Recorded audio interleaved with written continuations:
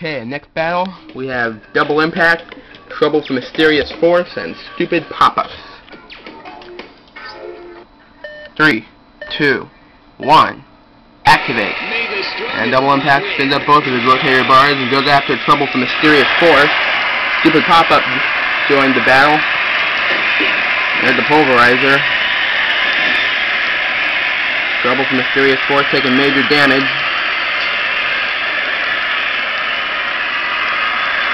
Stupid pop-up going behind Double Impact. Oh, and there goes Trouble from Mysterious Force.